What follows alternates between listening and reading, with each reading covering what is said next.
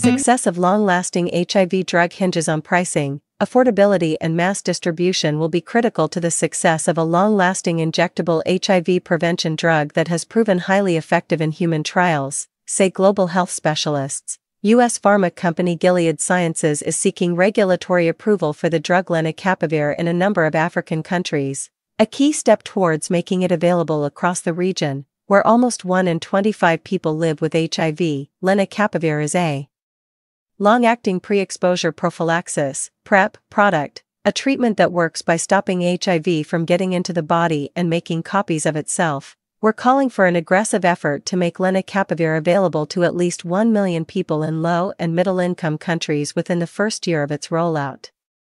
Mitchell Warren, executive director of the nonprofit AVAC, unlike oral PrEP treatments, which are taken daily, the drug is administered at six-month intervals and is the longest-acting injectable produced to date. In a late-stage trial, lenacapavir reduced HIV infection by 96% among diverse groups, including men who have sex with men and transgender and non-binary people. Only two out of more than 2,000 people involved in the Purpose 2 study went on to contract HIV, according to data released at the International AIDS Society's HIV Research for Prevention conference in Lima, Peru earlier this month. The findings build on the earlier Purpose 1 study, where no cisgender women, those who identify with the gender they were born with, contracted HIV while on the drug.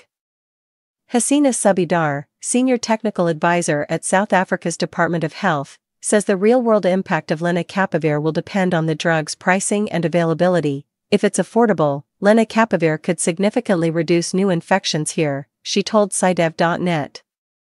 He stressed that large-scale production and a robust supply chain were important for ensuring the drug reaches those who need it most. In Africa, where healthcare systems are often strained, the cost of treatment is a major concern, Gilead has entered into voluntary licensing agreements to allow the production of generic versions of lenacapavir, but the pricing structure remains unclear. Early models suggest that, to achieve widespread uptake, a year's supply of lenacapavir would need to cost around 40 US dollars, comparable to the price of oral PrEP, according to Warren. Countries like Zambia and Kenya, which have experience implementing HIV prevention programs, are expected to be early adopters and will be a litmus test of real-world impact.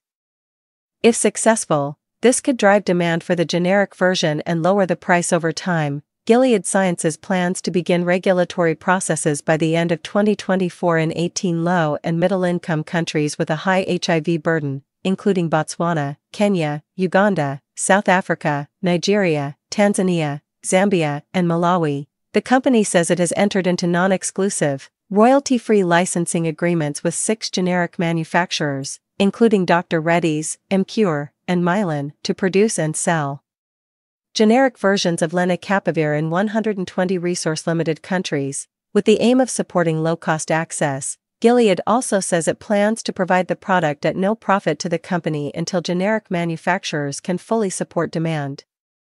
Given the transformative potential of lenacapavir for prevention, our focus is on making it available as quickly and broadly as possible where the need is greatest, said Daniel O'Day, Chairman and Chief Executive Officer of Gilead. Gilead teams have been working with urgency to bring on high-volume generic manufacturers now, so that we can ensure a rapid transition to these voluntary license partners after lenacapavir for PrEP is approved, he added.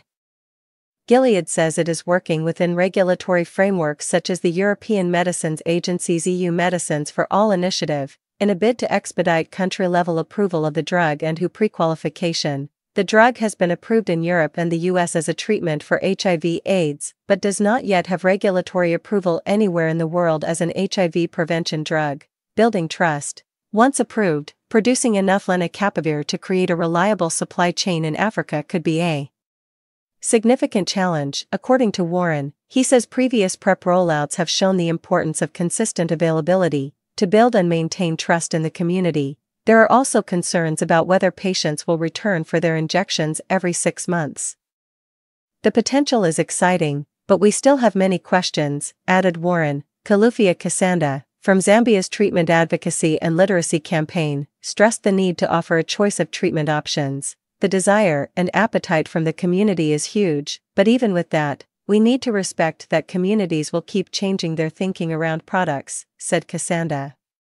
This piece was produced by SciDev.net's Sub Saharan Africa English Desk.